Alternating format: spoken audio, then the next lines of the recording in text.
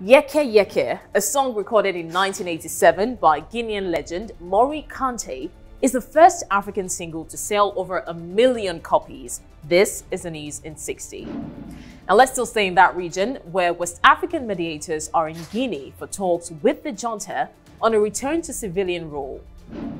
Ugandan President Yoweri Museveni has signed a cooperation agreement with the leader of an opposition party and former challenger Norbert Mao.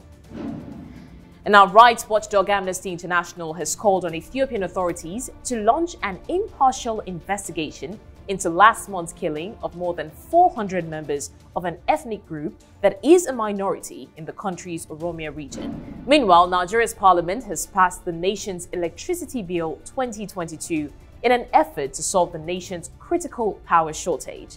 And that's it on the news in 60. My name is Blessings Musugu. Stay sharp.